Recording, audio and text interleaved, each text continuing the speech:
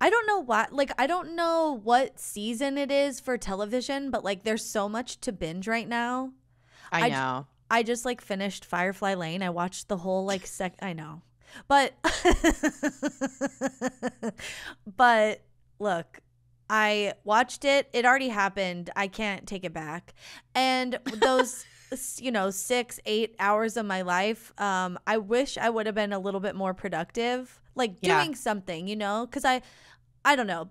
I, I just think it would have been nice to do like a puzzle or something, like Mm, a Wongo like- puzzle. Something that's like stimulating your brain. Yes, good for That's- your brain. Beautiful also. Yes. And Wongo puzzles are the perfect balance of a good challenge, but without being so hard you just like give up on life, you know? It's like still very fun and Yeah. so, but still challenging, so you don't feel like this is for babies, you know? Like it is for grown adults and children.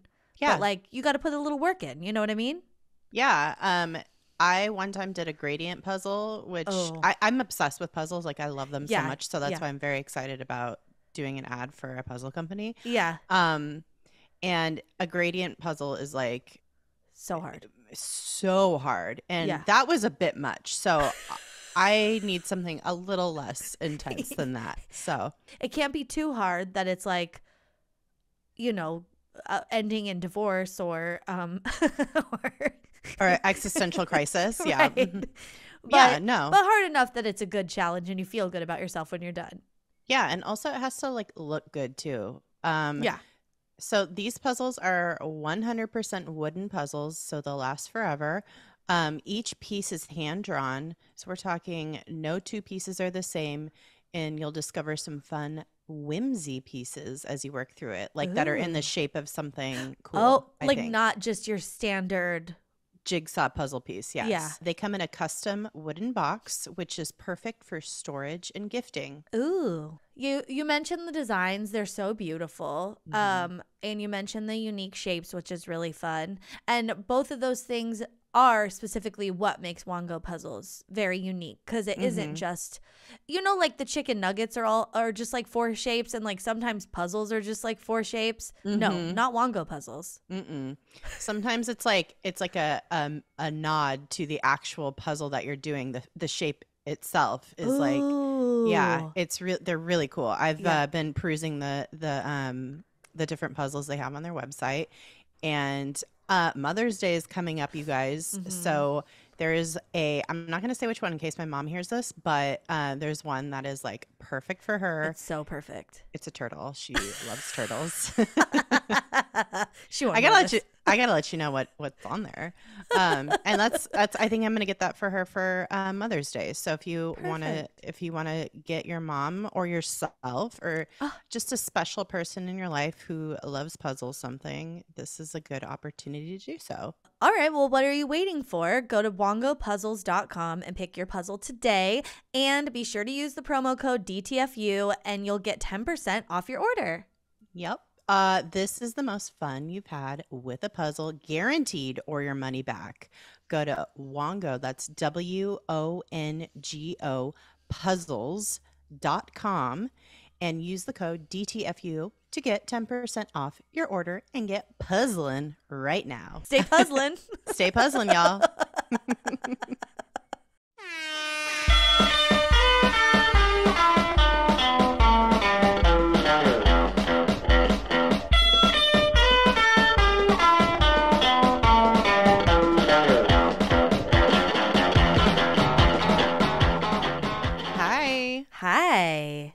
What's up, everybody? It's Erin. And Nicole, this is Dude That's Fucked Up. Welcome, you guys. How's everybody doing? Oh, Yeah. Oh, wow. Oh, wow. Hope everyone's great. I'm kind of nervous because I just ate dinner and I feel, you know, I like ate pretty quickly. And I'm like, is it, is this like, you know, when it drops down and you have to diarrhea? Mm, mhm. and I'm like, is this going to be an issue? I think it's fine. It, it just, I just feel like full, you know? Yeah, yeah, yeah. I just, you never know. You never know. Or is know. it like a gas bubble? We're, I mean, we'll find out. oh my God. Jack is always like concerned if anybody has a stomach ache. He'll be like, is it a gas bubble? Because that's happened to him before. Is it Like, in like a condescending way? Like when you go to the emergency room and you're like, I'm having appendicitis, and they're like, No, it's gas, man. It's gas. Yeah. Yeah. No, he's it's he's it's happened to him once before where he's like had you know like where you get a really painful gas bubble Yeah. and it like freaked him out. You know, so it's like it's seared into his mind as like you know if anybody's having stomach issues, he's like. I feel your pain. You oh know what I God. mean? Like yeah, yeah. he's like he's he's empathizing and but also being like could it be this could you it? know? Yeah. You know, Yeah. it could be. It you know what it could be a gas, Gas bubble, yeah. Uh, and he also he knows all about sharts because oh, bless his heart. happens quite frequent, frequently with him so Yeah. He just doesn't know yet. he doesn't know he's Yeah. he's still learning so Yeah, that's fair. I mean, Mhm. some some people never learn. Mm-mm. Yeah. yep he's Never? he's learning now though Yeah. Well, good for him. It's all it's all a learning process. Oh my god. Well, this uh episode might make your your stomach hurt Oof. just yeah. talking about it. it'll make a quarter of uh it'll make a quarter of the entire human population's tummies hurt. um also today's topic is a perfect amalgamation of like a listener pitch and things that are happening in the current like zeitgeist, which is mm-hmm. very fun. I love when this happens. Like Me when s- someone pitches us a topic and then we're like, okay, put it on our, you know, we put it in our notes.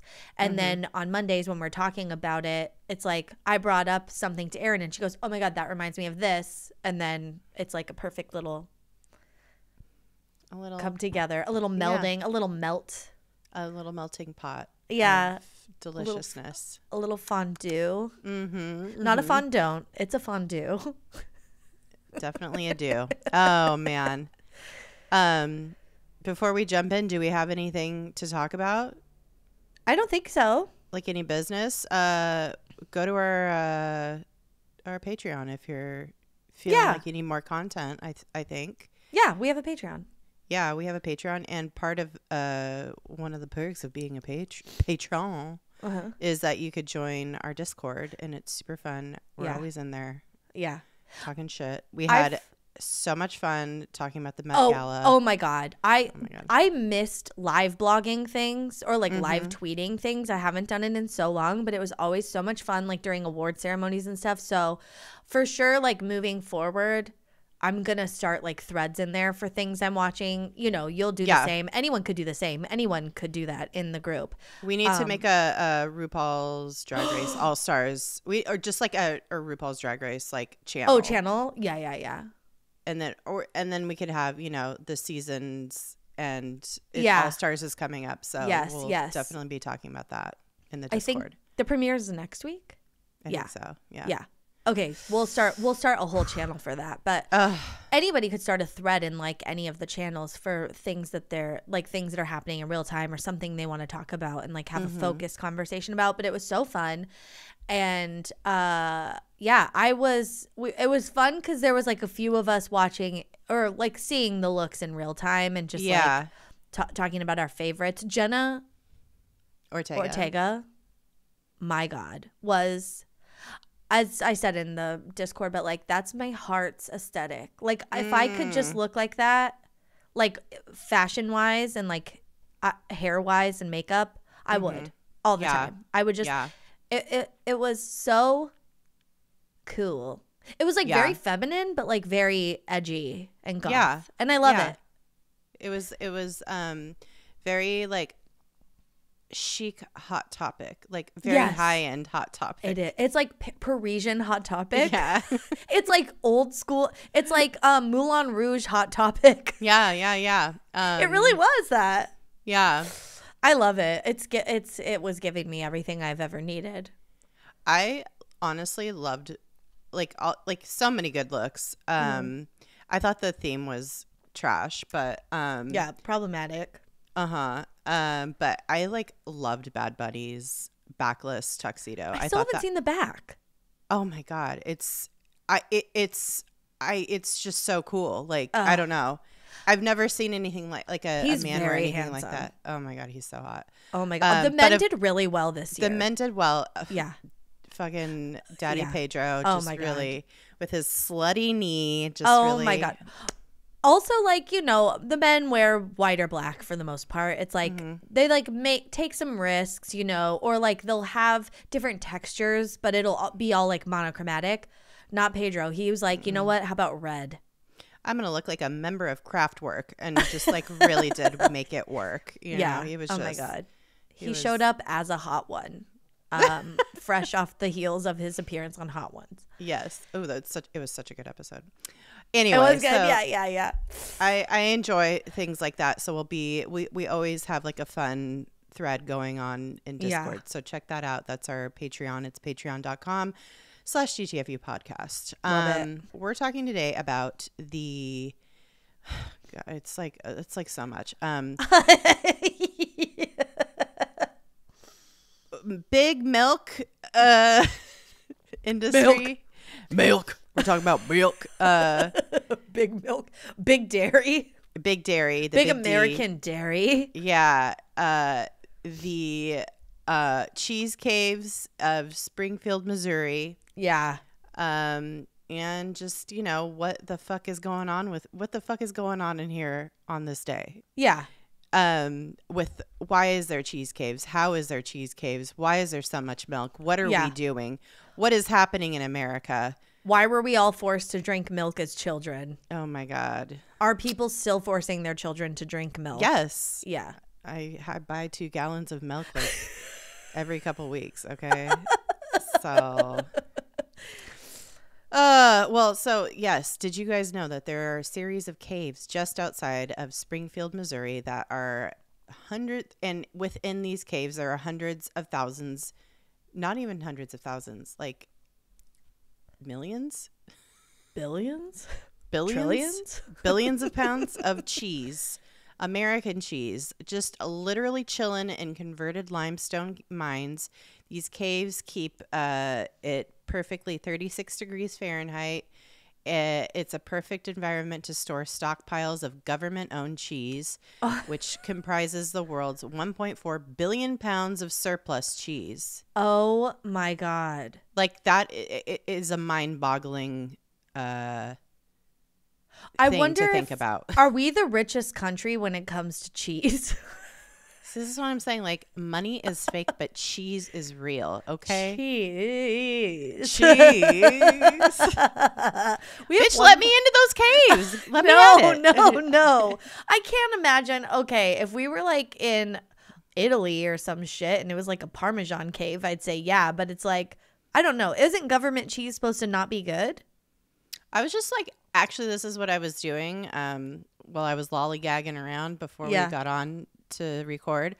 I was looking up to see what people like their general, the general consensus of people who ate government cheese was if it was good or not, and a lot of people really liked it. Um, Yeah.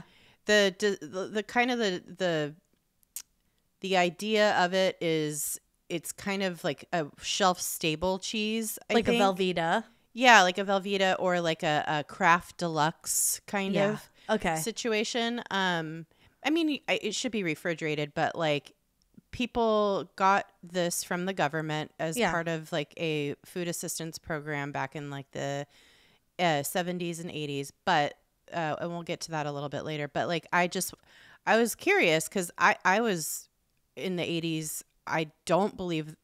I'm sure my parents at some point had to maybe get some of this cheese, but I don't remember. Um, It specifically. Yeah, I don't remember Yeah. it specifically. Um, I know Dax Shepard talks about it, and I know, and he's like interviewed people that have had it and like have a special place in their heart for it, and Yeah. it's like, yeah, it's kind of like a a Velveeta type situation. Um, Mhm. but I think now, I guess in my present day and age, if you would have asked me like ten years ago, I would I wouldn't have been such a cheese snob. But Mm. now I feel like one, it fucks my shit up, okay? Mm-hmm. Like I'm not even lactose intolerant, but cheese is not great for me. And and because I think I always eat too much of it when you know, it's like a cheese plate, like when we were in Las Vegas. and we had a cheese plate and then we had that wheel of cheese pasta. Yeah. It was not great for me. Um and I'm usually fine. So it's just like I overdo it now. So for me and I just want really nice cheese now. High end cheese, not Yeah. uh, not cheese that's been sitting in a cave in Yeah. I don't the want middle cave of the country. I don't Well, like- no, I well, that's where Yeah, that's yeah, where a lot of cheese comes from. from. No, no, no. Uh, well, cave Yeah. cheese. I'm I'm a, more of a burrata fan, so Yeah, yeah, same. No, I no, no. I like I am, uh I. I like a hard cheese. I like I love uh, a hard cheese. I yeah, love but I also love a soft cheese. So yeah, I know. So I sue like me. I know. Yeah. I don't know why I said that. Well, so why? you're why- litigious. I'm litigious, bitch. Um, why? Why? Like, why the fuck is this a thing? Why Yeah. are there literal caves full of uh, millions and a billion, 1.4 billion pounds of fucking cheese? Oh my god. That's what how like, are it's so people starving in this country? Give them This the what I'm saying. cheese. Just give people cheese. Come on. Just give people cheese. Um, it the reason why is it's it's milk's fault. Uh, basically, the price of milk is it's always been volatile. Uh, it goes up and down based on you know limited supply. Yeah. It fluc because it and fluctuating demand. Like Yeah. uh, it, the demand goes up and down during the diff- different times of year, So and weird. also their milk production naturally rises in the spring because that's when a lot of cows have their calves Yeah. and so that's when they're but you know modern modern dairy farming is you know i don't know what that's all about but it's pretty fucked up i think um yeah. So and also demand for milk is generally at its highest in the fall when the school year starts i guess So why? That's so weird. Like suddenly the parents are I know why I think actually. I have a theory. hmm When we get a, a little bit later in the episode. Uh, okay But I, yeah, I mean, I, it's weird, but I it, I think it'll make sense. It's just coming to me right now. So, Yeah, and this this is all to help to help dairy farmers. The government looked for ways to like kind of step in and and calm the Yeah. markets down because as the everything was fluctuating, it was causing milk prices to go up and then go down, and so it, it's just the government was like, "Whoa, we need to really." Get everybody. We need to get to everything needs to calm its teats. So but of course, milk also has a short shelf life. Um, so they couldn't do it just.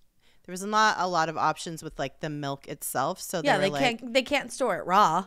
yeah, they were like, okay, what do we do here? Like, we got it. We could do powdered milk, but then they were like, Process it. process that shit and make cheese with it. Um, and thus we have classic American cheese. Yeah. It's uh maybe one of the shittiest forms of cheese. I feel like I know what you're saying, and especially after I just was like talking about my cheese snobbery, but also it's so perfect for what it's good for. Yeah, like a grilled cheese for Oh, yeah. creating a nacho, a creamy nacho sauce. You know? Yeah, I I don't. I would use it like grilled cheese, cheeseburger, egg Mm-hmm. sandwich, anything where you need that maximum melt. Yes. Yeah, like you're Mm-hmm. saying, like a nacho situation. Like I wouldn't put it on nachos, not like but a like slice of like no. But if you're making like no. rotel or whatever, yeah, rotel, like you need like- the cubed, you need the cubed like Velveeta. Yeah, yeah, yeah, yeah. Um, you need a cheese product, and that's what product. American cheese is. Well, and so government cheese though is a step above that. It actually is a, not quite a cheese product. It is like real cheese. Yeah, It's yeah, yeah. it- but it is heavily processed. So Right, right. it's not exactly like a molecule away from plastic like Velveeta is. Yeah. But it's you know it's it's still cheap. It's versatile. it's versatile. It's- Yeah, it's- yeah. Okay, I want to talk a little bit about um why we like how milk got into the situation milk got into to have to have the American government swoop in and save them. Um, Okay, so f- first of all, like I said, I don't even know. Like, we didn't even need milk in the first place, okay? Like, a quarter of the human population can't even digest it. Like, that's lactose intolerance, okay? Um, and we didn't really ever need milk except for in like small groups of people in very specific climates. So, milk initially was to sustain people in cold climates. It was like a means for survival because they weren't able to grow produce. Like if you're in you know, Wisconsin or whatever, and it's snowing for like seven months of the year and Yeah. everything's frozen, you weren't able to grow produce. So you had dairy cows and you sustained yourself off of milk and like milk products. Um, and then during World War One, the U.S. sent a bunch of canned and powdered milk overseas to help sustain the soldiers and make sure they were properly nourished. And to meet the demands in, um, you know, for this American product, all the farms in America started upping their like dairy production, and they shut down some of their other ones. Like they got rid of crops. You know, I feel like farming around that time was like very multifaceted. It wasn't like you're a very specific farmer, I'm a very specific farmer and we make different things. It's like Yeah. people had livestock, people had vegetables and and Yeah. um like wheat and grain and stuff, you know? Yeah. But during this time there was like a real big need for dairy products. They were sending them overseas. So all the farmers were like, "Oh, okay, everybody like get rid of the corn or whatever." It's it's the wartime, you know, wartime effort. mentality. Yeah, And- everybody everybody needs to help out. Mm-hmm. Yep. Yep. Yeah. Yep.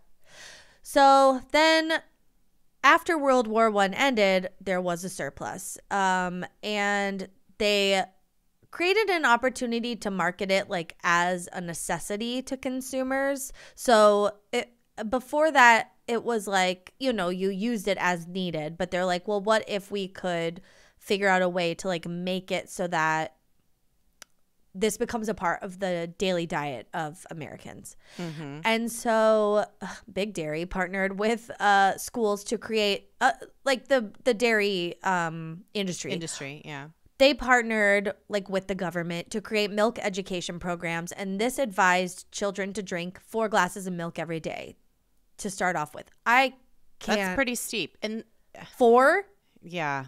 I didn't even ever have to drink one. I, I was Really? never made to drink milk. Yeah. Really? Oh. And I Oh. hated going to friends' houses to sleep over when I was like of the age where you you weren't really you kind of had to eat whatever they gave you or whatever. Mm-hmm. Because if they poured a glass of milk, I, I had to drink it. Like I couldn't say no. I just oh couldn't. My God. Oh no, I I uh, I I drank a lot of milk when I was a kid. Um, my parents always served us milk with dinner. Does- Yeah. didn't matter what it was. Could have been Oh. spaghetti and meatballs and a big And glass milk. of milk. Oh my Yeah. god, so was like- weird. Very 1950s. Yeah. Um, Yeah, or 1940s. yeah, because that's what you know my parents grew up doing was Yeah. drinking milk all the time.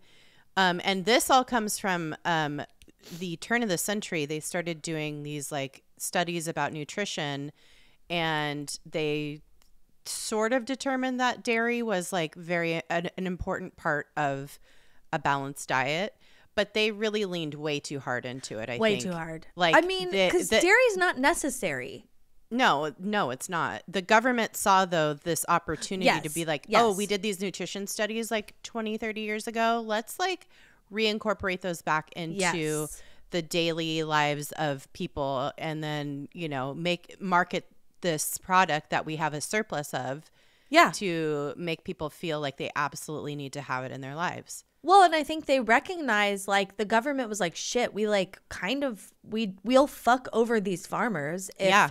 if we don't find an, a way to help them now sell all this surplus dairy that they're making because they got rid of all their other crops.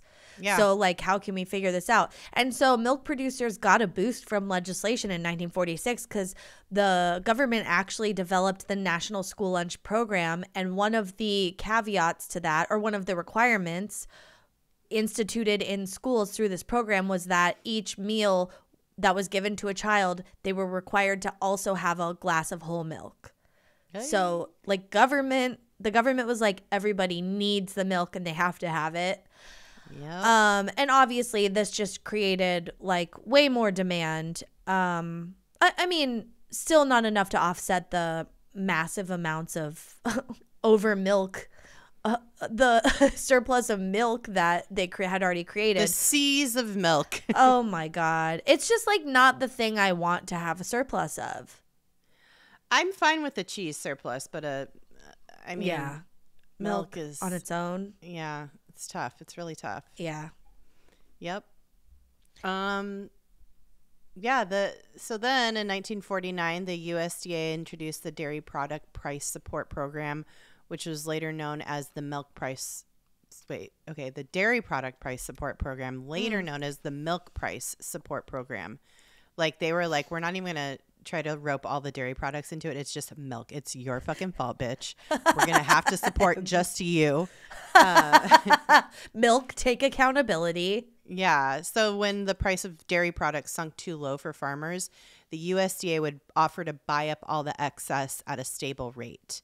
Um, oh. So it it it bought millions of pounds of cheese, butter, and dry milk from other from producers who would otherwise have lost a ton of money uh, if they only relied on their regular retailers. So it's just Yeah. They, basically, the kids weren't still weren't drinking enough milk, even though they were being forced to drink it. yeah, it's like we got to put all this fucking milk in a fire hose or something. We got to Yeah, do they're like, something with it. Powder it. Yeah, they were doing thinking of everything they absolutely could to get rid of all of this dairy. Um, Condense it. Powder Condense it. make tres leches cakes. We need we need to get rid of all the milk. Put them in the cake cave.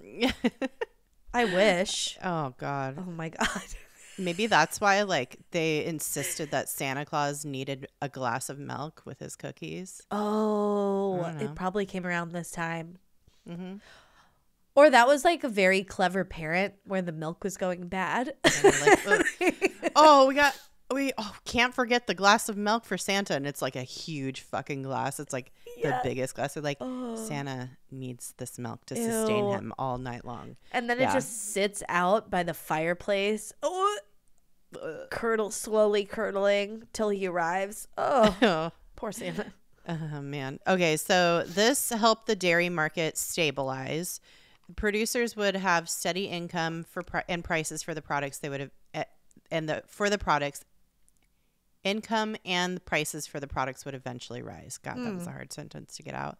Yeah. Um, then, once the prices of dairy products hit 125% of the support price, the USDA would start selling off its stash in bulk. So they had to wait for it to get to a certain point before they could be like, we gotta, we're getting rid of this at Oh, cost or whatever. Yeah. Um, but it, of course, has a, had a downside. Um, the USDA buying up cheese prevented the prices from dipping too low, but the department also put a ceiling on how high the prices could climb. Oh. oh, I don't really feel bad. So the this uh, agricultural economist at the University of Missouri named Scott Brown explains. Uh, this is especially true during the 1980s. You ended up with prices not being able not able to move out of either end of the spectrum. It did create very stable prices, but most folks weren't very happy with that kind of operation, and it was costly for the government. so Okay, they really But most folks aren't regular people. It's the dairy people. Yeah. And the and the government. So who cares? This is like this this created like something incredible for consumers. Mhm. Cuz it's like the milk like it's never going to be you're never going to not be able to afford milk essentially. Like we just went through that egg situation where like mm-hmm. eggs were insanely expensive. And it's like some, some people can't afford once they hit like a certain part to like include them in their diet. So yeah. this is so interesting. I know. It's it's this is like this whole thing made me kind of like it it it opened up a door in my brain Yeah. to like you know senior year economics class Mm-hmm. where I was like, "Oh yeah, this is all just like everything is so such a fragile balance." You Yeah. know, like thinking about like guns and butter, you know, how you can't you you can only you have to if one goes up, the other goes down. Like there's there's so much that needs to happen for everything to you know, stay in balance and the government tries to do, you know, tries its best to control it. It's very complicated and complex, but this is like the general gist of what happens with milk basically. Well, and I don't think uh, like something like this is ideal in like a socialist country or situation because it's like okay if we keep it at this price you'll never make exceedingly high profits but Mm-hmm. also you like people can afford this so they'll be buying it you know? Versus we live in a capitalist society so obviously the farmers weren't happy because they were being told well we understand you could make more money but we're not going to allow you to make mm-hmm. more money and like that obviously didn't work for big dairy. Yeah, cuz big dairy came in swimming swinging their dick and they were like truly there's the money it's all about the money always. Yeah. um so the usda had to like pivot off of this uh, whole idea um and it started reducing the support prices and buying less stock but that actually didn't have a huge impact. So it tried the usda tried getting rid of the automatic sell triggers and instead of selling out its stores of dairy products when market prices climbed to 125% of the support price it would leave it up to the secretary of agriculture to decide when to release the product. So it's like and that person can't be bought. And then so this uh this this uh uh agricultural economist uh, Scott Brown uh, says that it became a political football how to handle the release of the stocks.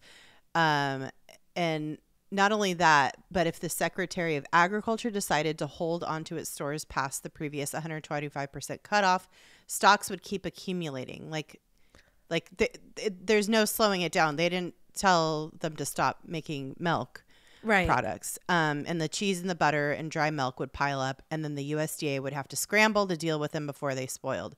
Just a bunch of bullshit. It's all so stupid. Yeah. just so fucking stupid. I think at some po- at one point during I think the 80s or 90s, they actually or it was some at some some point in there they actually told the dairy farmers to stop producing anything for like Yeah. 5 years or something wow and it's it didn't make uh, it, like it hardly made a difference. Like we just had so much stockpile still. It was just like the fire hose just never ever turned off. Oh my god. And then the usda finally decided to stop dicking around and ended the price support program in 2014 wow. Yeah just that's like pretty recent. Yeah. so uh, but it kept hoarding the cheese and still does to this day oh my only god. only now it's for use in food assistance programs um, and in the l- latest cold storage report the usda shows little less than 1.5 billion pounds of cheese in storage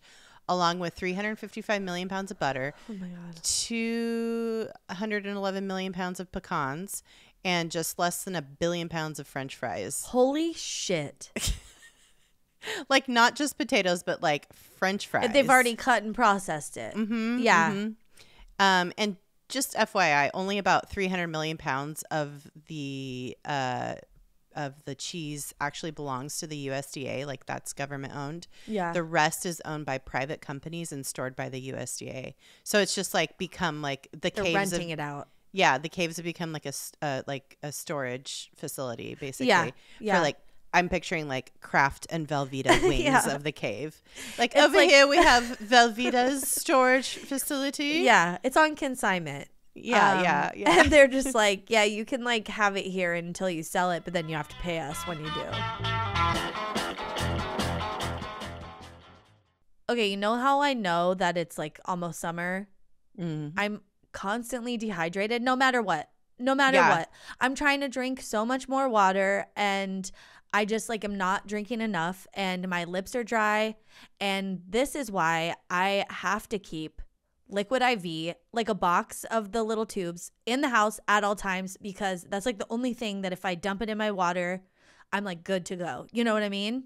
Yeah, it's I am I've uh, used liquid IV for literal years. Same. Um I I always have a box like in my bathroom because Mm. I, for whatever reason like I'm just like that's my routine. I get out of the shower and I chug water. Oh, oh yeah, It's good. smart. Does It's being good. in the shower make you thirsty? It's like water reminder. Yeah, yeah, yeah. Pretty much. Mm-hmm.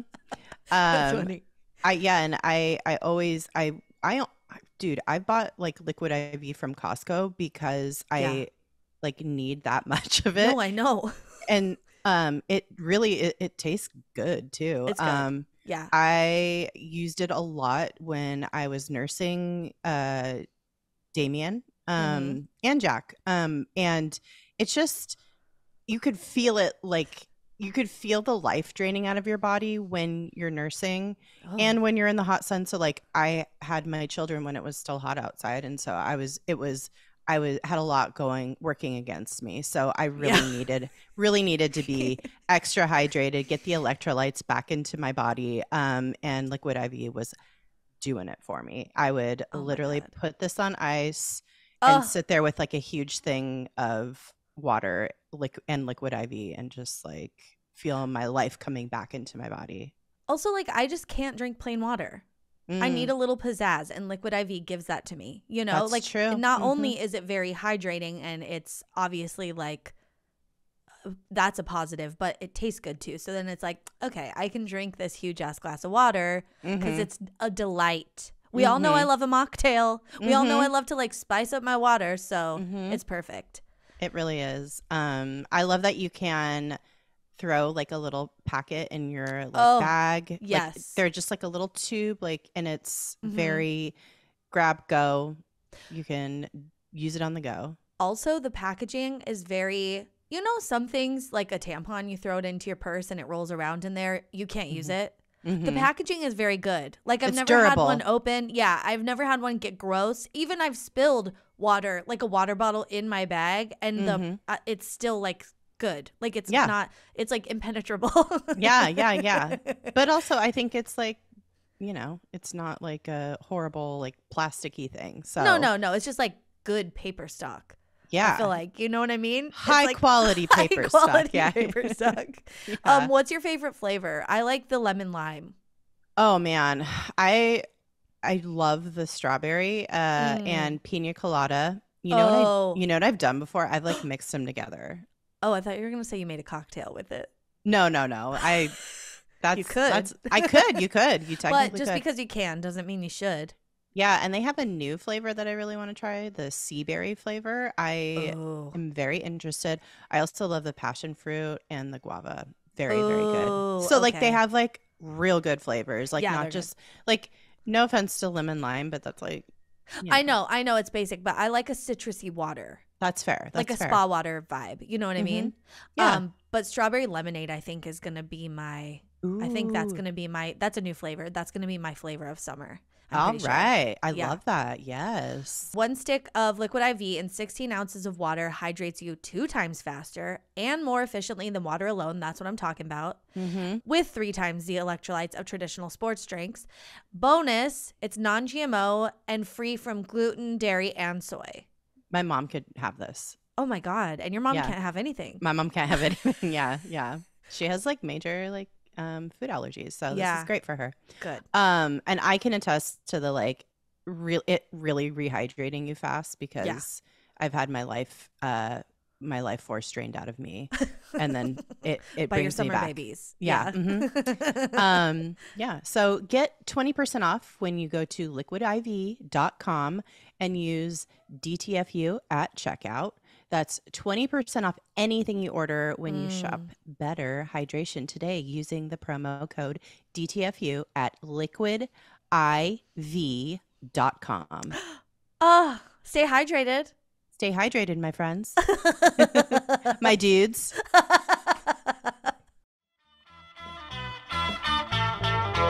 It's just stupid. I just, I'm just having a very hard time. I'm, Like- I'm I don't even understand it all. I- all the why? words that I just said it doesn't make any a, a lick of sense. Also, uh, I'm sorry, but what a huge, colossal fucking waste of money to be paying for temperature controlled storage of all that shit. Like, I understand having a, a portion of that stored so that and and replenishing, you know, so that you always have some for people who need it. But it's like, what are what are we doing here? Why do we have literal billions of pounds of cheese just in a cave underground? like, what the fuck? And not to mention the like the cost of like production of all these dairy farms. Yeah. The amount of land being used, the Oh amount my God. like the amount of, you know, what we feed like the cows, like what the Right. where like Yeah, the- just the maintenance of the cows alone, just like Yeah. the pollution that it creates, like uh, it's All the drivers driving the trucks and the and the uh, stuff to get to these caves and stuff when it's like we don't need more cheese there.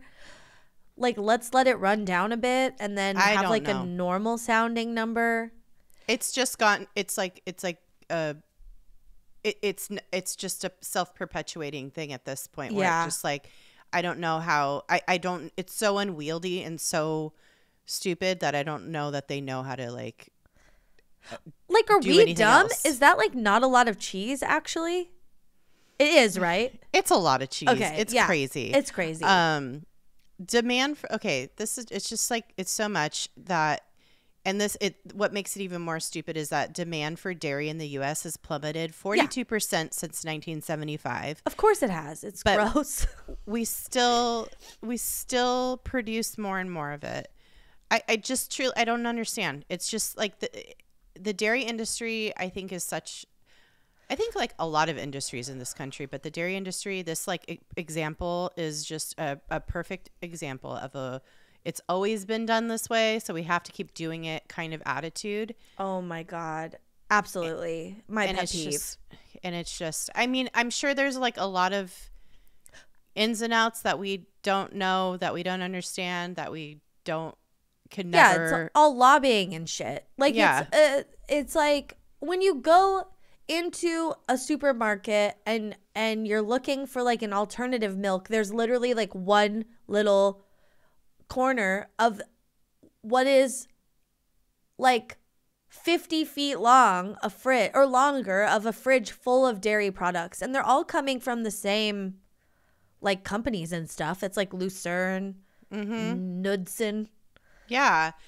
And i mean like the i think like the dairy industry like has even like sued a lot of these you oh know, nut milks and stuff? nut milks yeah. for for yeah. even using the word milk in I their know. description. They bitch have you to use do like not own the word milk. Yeah well get out of here. Yeah well they think they do. Um oh my god i can't i'm never going back to regular uh, my oat milk lattes every day are so incredibly delicious and i That's never feel gross Yeah, I mean, I I I love half and half in my coffee. oh if i'm drinking a regular coffee it's a different story I, and I'm only using like you know that Yeah. like like a couple like a tablespoon or two. Also, I love yo. I've been making like yogurt bowls. I mm. eat dairy and I like cheese. Okay, but but it's like I don't need a lot. no, and if if if I like you know woke up tomorrow and I would I I couldn't eat dairy anymore, I would it would be really really upset because I fucking love cheese. I I, love cheese. Yeah, I love too. cheese. Yeah. But like everything else, you know, whatever. My second runner up, sour cream. Okay. I love sour cream. Bet you could just use yogurt for that. Ew, I'd rather have sour cream over yogurt, I think. No, because I'd rather have Greek yogurt. It's like the perfect in between. Yeah, get just get yourself some Greek yogurt. I never use sour cream anymore because Oh my god. yogurt because yogurt is so versatile. You could literally Yeah. just like put honey on and eat it. You can't do that with sour cream, baby. You can't like You could. Why not? It's basically yogurt. No, no, no. I even do my like um like elote. Like I make Oh, with mine with like Greek yogurt. Yeah, Yeah. but you sometimes you need like the the cream, the crema. Yeah.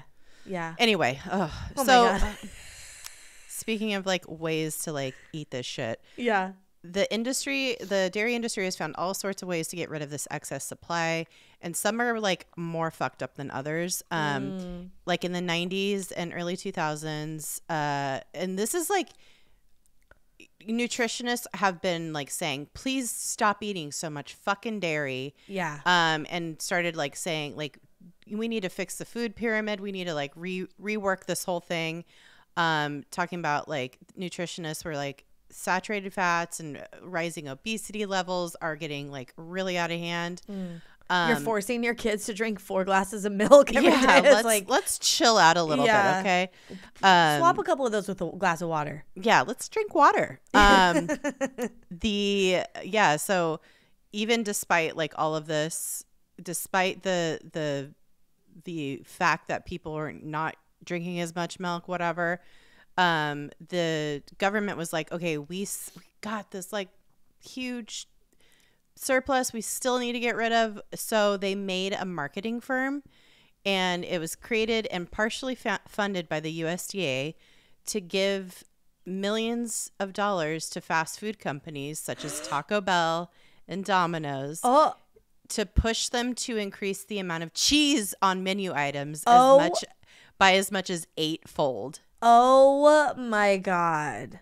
So like um items like Wendy's dual double melt sandwich concept Oh, and Taco Bell's steak quesadilla, the organization this like made up marketing company helped boost cheese sales by more than 30 million pounds. Oh my god. Isn't that crazy? Just like just to reiterate, the government made up a marketing firm to get fast food uh, restaurants to put more cheese on their menu.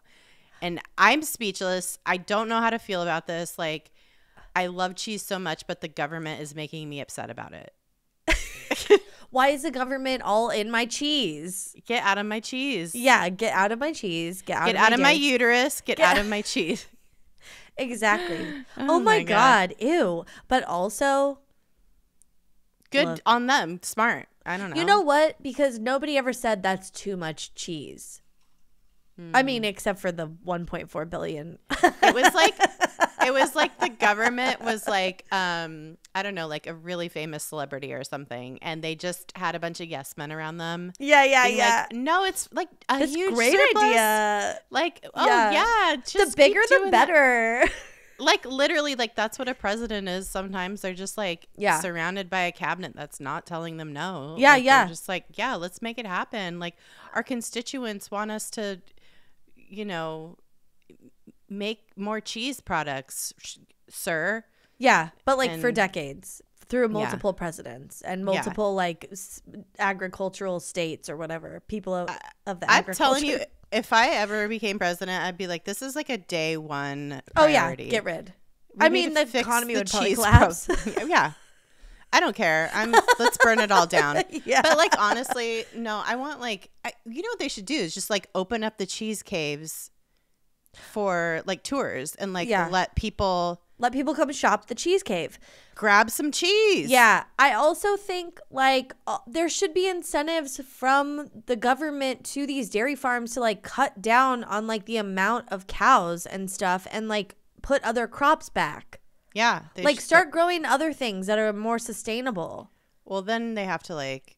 It's just like the industry is so crazy now that like it Yeah, you can't it's just like- like switch it up that quickly. Yeah.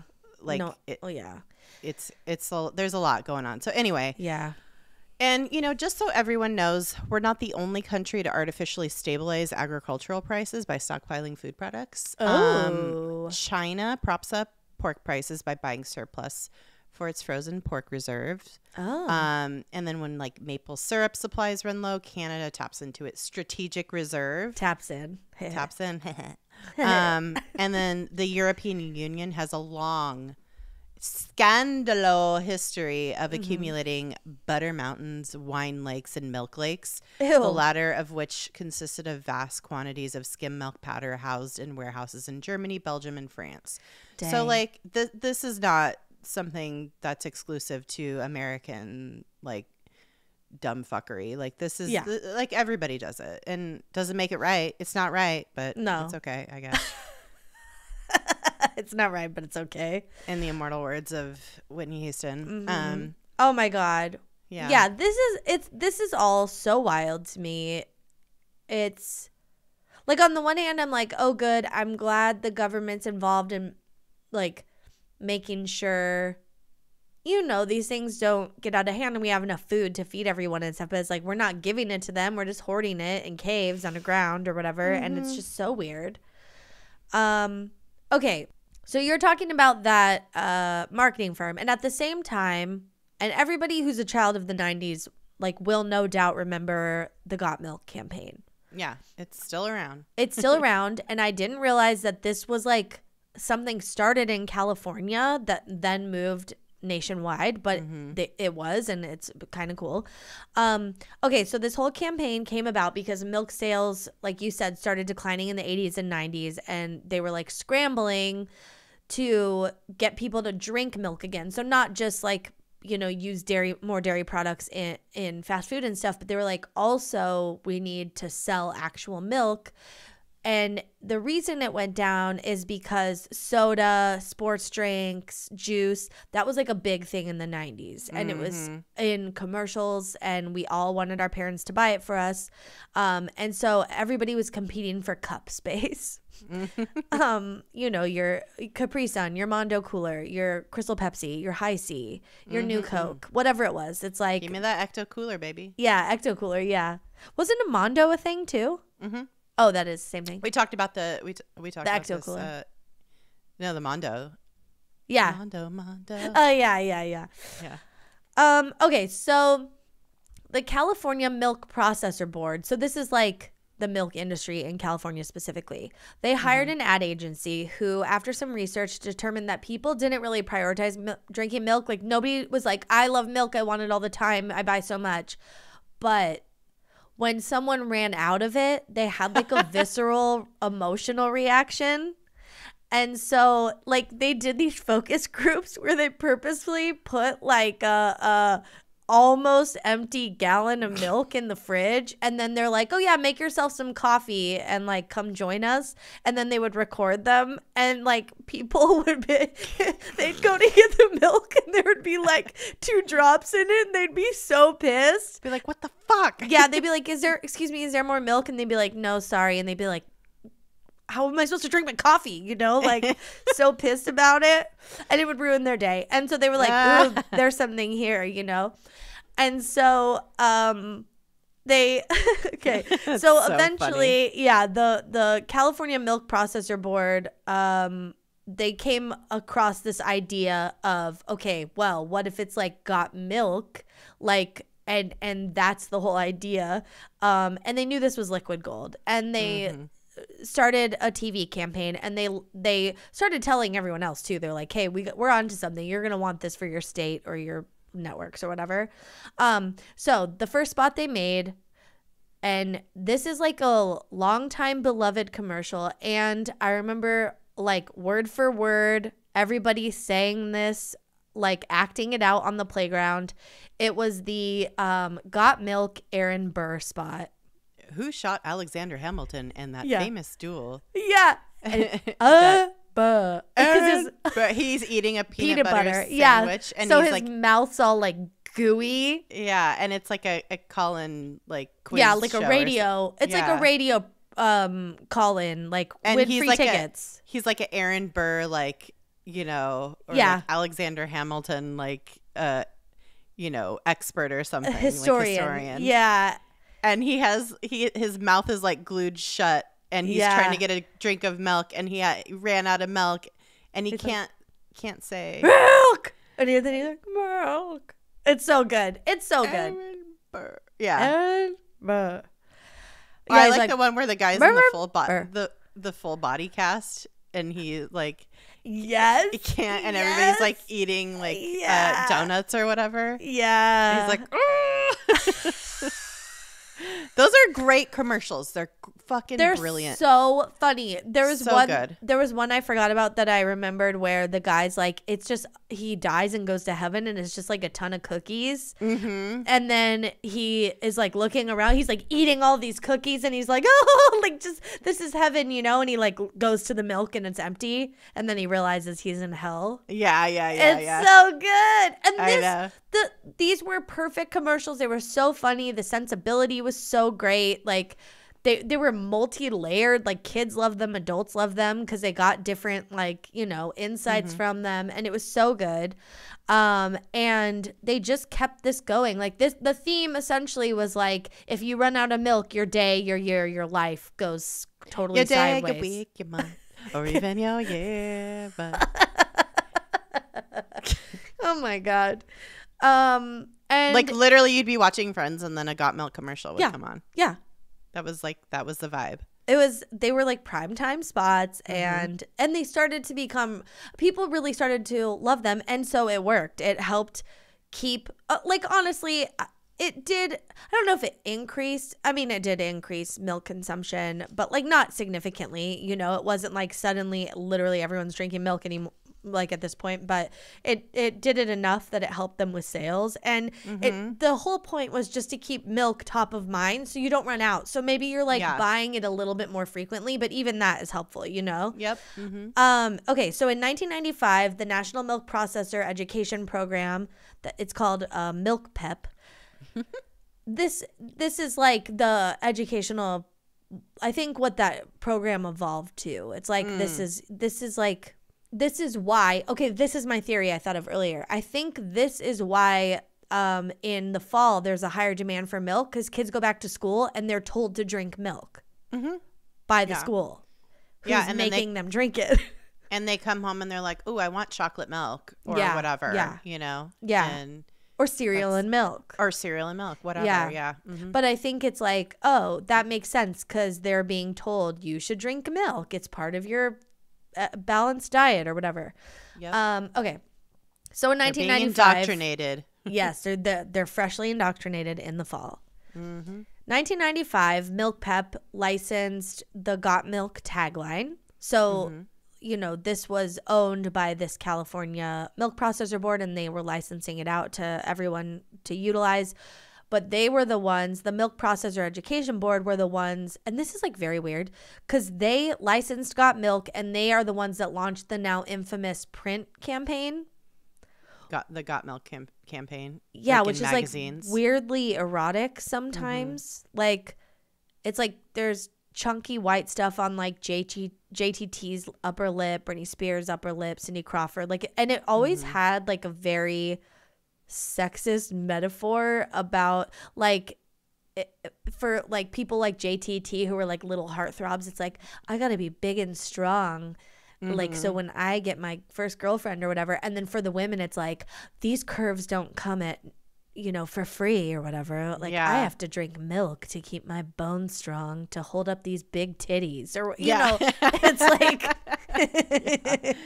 it like No, said- I really, I literally remember there was a commercial where it was like a girl's like looking in the mirror, and then she like turns into Cindy Crawford or something. oh something. yeah yeah exactly and you're like, oh, if I drink milk, I'm gonna be hot and voluptuous. yeah Like what? Exactly. That's the best. Or it's Yeah. like Britney, you know, like whatever, like in her Yeah. room, and she, Yeah. or that's like Rolling Stone, but Yeah. you know, she's she's like posing provo- uh, provocatively, and uh, that's like the whole idea, which is weird that it came from this like school program. Mm-hmm, It's very odd to me, but they were influencing children, and they had to use whatever means necessary.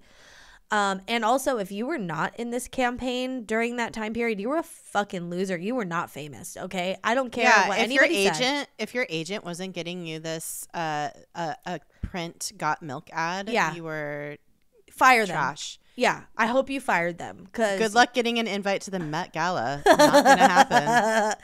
Uh, and then obviously after this print campaign, like billboards came and then parodies, and it all worked. And this is pretty incredible. But like this campaign specifically, not milk. Everybody knows what milk is, but this campaign of Got Milk had a 90% awareness in the US, which is almost impossible. For There's not. There's literally nothing in the U.S. that has ninety percent awareness. I think the only uh people might know like be able to associate just do it at that time with Nike. That was probably pretty high up. I don't know if like McDonald's even had a strong enough campaign that was like very cohesive and long running. Like to have such a tight like message that also had your product in the message like it, it's just genius marketing Yeah, truly. um, and it's you could not do that today. no. Um, okay, so Milk Pep discontinued use of the slogan in 2014. They switched to Milk Life, which is so gross to me. Milk Life. It doesn't sound good. And also, is it a parody of like Thug Life? What is the like? Are they trying to be cool and edgy? I don't know. It's. I so hate dumb. it. Yeah. Um, but they were like, if it ain't broke, change it. Nope. and they did. Yeah. Well, they went back to it because in 2020 they revived the campaign, and I think they're trying to like sneakily get it to 90 status. Like they're trying to make it a thing again, Mm-hmm. which good luck.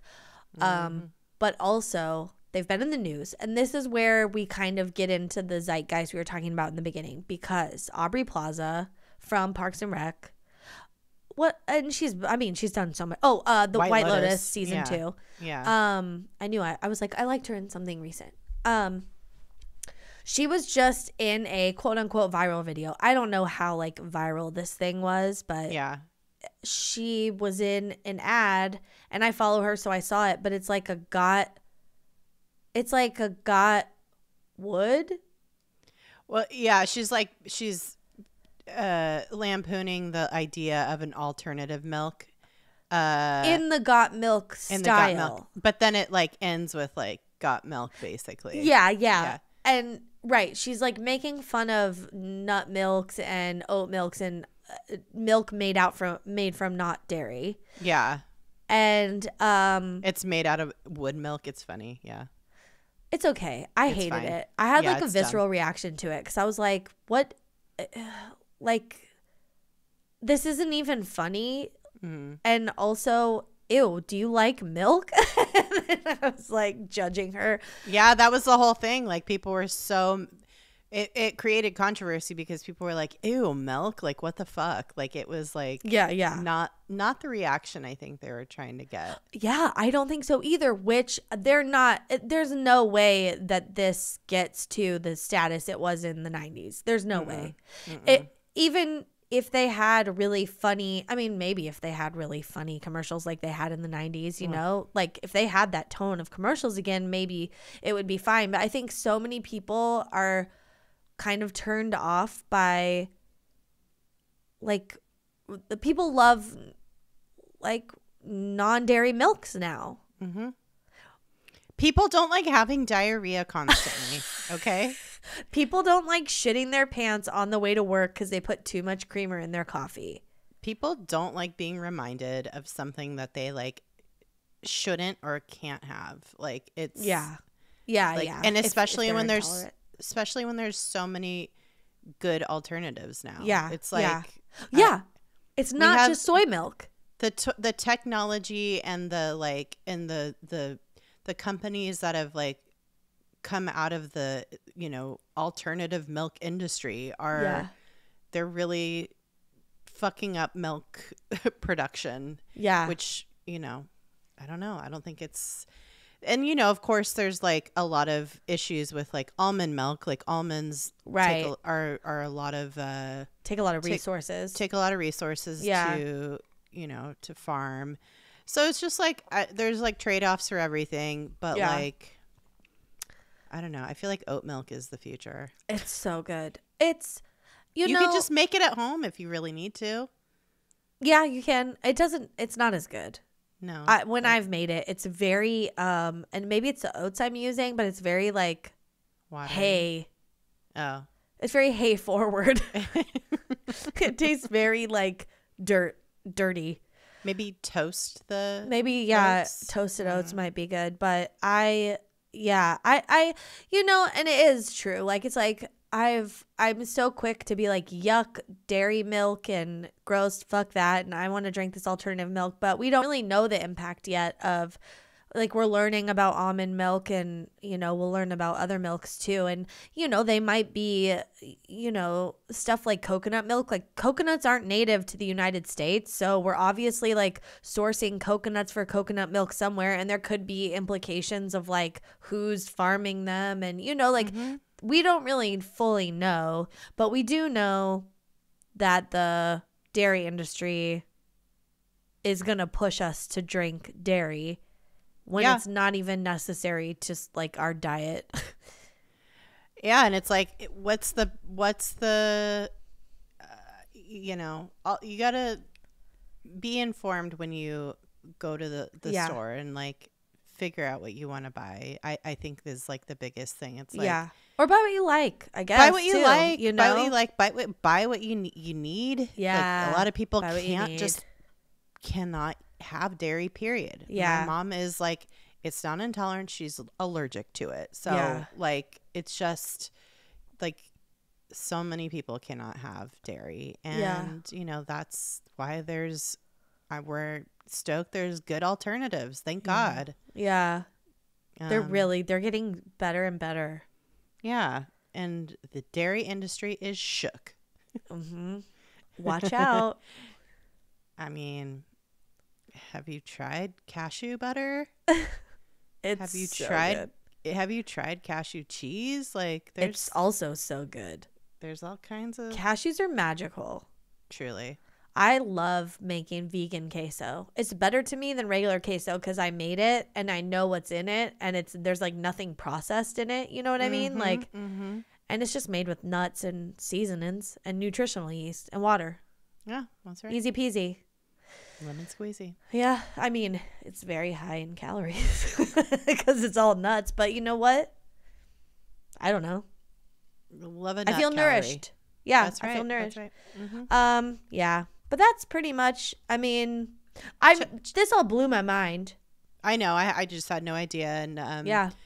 you know the inner workings of uh, the United States uh, economic fucking whatever is very confusing and Yeah. a lot of I feel like a lot of it we could blame a lot of it on the military industrial complex like Mm. always Yeah. because a lot of the this didn't get started until we entered World War 1 so Yeah.